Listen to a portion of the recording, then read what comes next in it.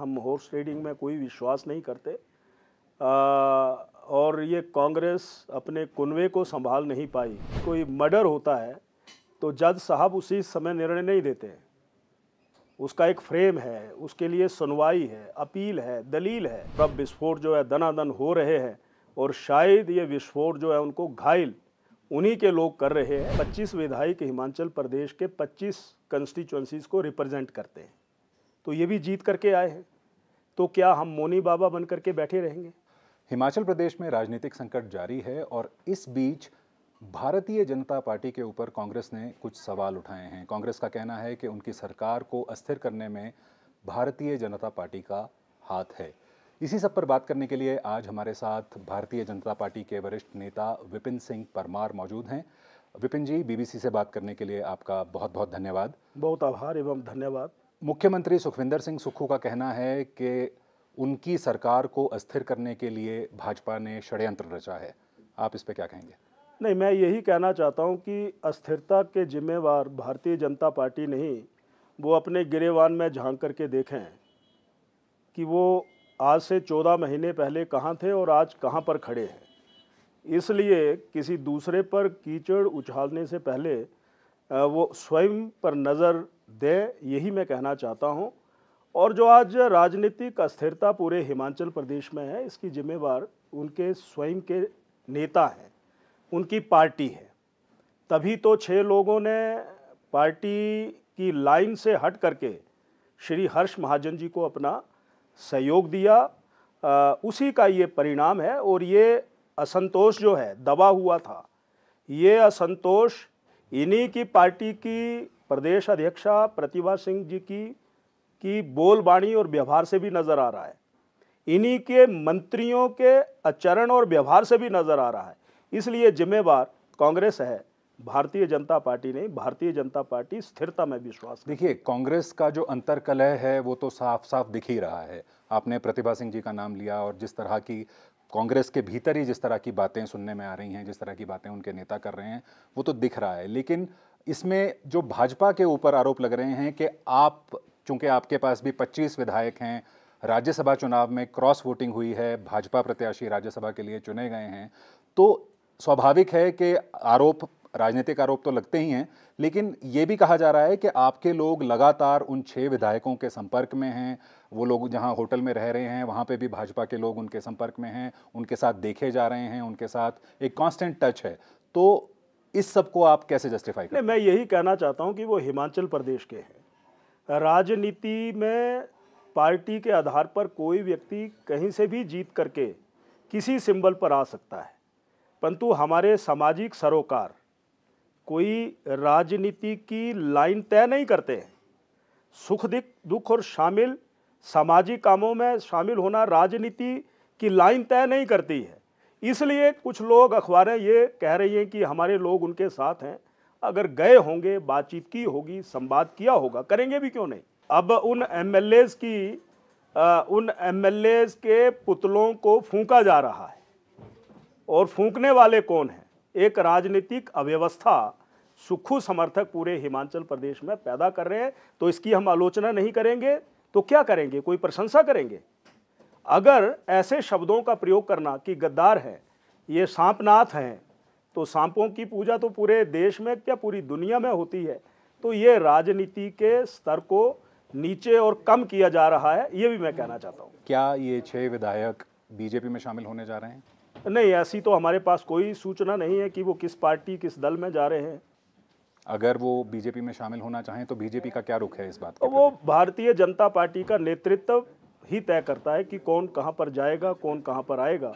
ये उनकी ही निर्धारण के विषय परमार साहब असेंबली में जो घटनाक्रम हुआ उसके बारे में आप हमें थोड़ा सा बताएँ क्योंकि उसे देख नहीं पाई है जनता। असेंबली के अंदर क्या क्या हुआ? जिस दिन राज्यसभा सभा का चुनाव था उस दिन क्या हुआ? और उसके अगले दिन क्या घटनाक्रम हुआ? नहीं मैं यही कहना चाहता हूँ कि एक तो जो कट मोशंस होते हैं वो उस पर बोलने का अधिकार जो है वो विपक्ष का होता है उसे हमें वंचित किया गया। और हमें बोलना और उस पर मत विभाजन से भी वंचित रखा गया। एक तो ये क्यों हमें वंचित रखा गया और दूसरा मैं ये कहना चाहता हूँ कि जब बजट पारित हुआ तो उसमें हम पंद्रह सदस्यों को, हमारे नेता प्रतिपक्ष श्री जयराम जी, हम पंद्रह सदस्यों को बाहर का रास्ता दिखाया गया और ऑनरेबल स्पीकर साहब ने कहा कि आप लोग हमें कोऑपरेट नहीं कर रहे हैं। जब हमसे बातचीत करने के लिए गए तो मार्शल्स ने हमारे साथ धक्का मुक्की की। तो ये भी मैं कहना चाहता हूँ कि इस प्रकार की बहुत सी अनिपताएँ हैं जिसके कारण ये अविश्वास वहाँ पर पैदा हुआ है उसका खमियाजा या उसका जिम्मेवार कोई हम नहीं हैं। वो जिम्मेवार कांग्रेस कांग्रेस की हुकूमत और स्वयं मुख्यमंत्री। परमार साहब, आप खुद भी विधानसभा के स्पीकर रह चुके हैं। अगर इस स्थिति में आप स्पीकर होते तो क्या कार्रवाई होनी चाहिए थी? नहीं, कार्रवाई ऐसा है कि अगर जज के सामने भी कोई जिसको कहते हैं कि कोई मर्डर होता है तो जज साहब उसी समय निर्णय नहीं देते उसका एक फ्रेम है, उसके लिए सुनवाई है, अपील है, दलील है। तो अगर किसी ने कुछ किया है तो उनकी बात सुनी जाती, उनका पक्ष रखा जाता, और उसके बाद निर्णय लिया जाता है। यहाँ पर तो फरमान, एक के बाद एक फरमान जारी किए गए और बाहर तुरंत उनको कैसे भेजा जाए ताकि कट मोशन से भी हमारे कट मोशन भी पारित हो जाए और बजट भी पारित हो जाए ये सारा मामला हुआ है। इस वक्त वो हरियाणा में पंचकुला में एक होटल में हैं जो बागी हैं। हरियाणा में बीजेपी की सरकार है। कहा जा रहा है कि उनकी सुरक्षा में सीआरपीएफ है जो यहाँ तक भी सीआरपीएफ के लोग उन्हें स्कॉट करके लाए। सेंट्रल पुलिस फोर्स है वो। हरियाणा पुलिस के लोग उनके साथ हैं।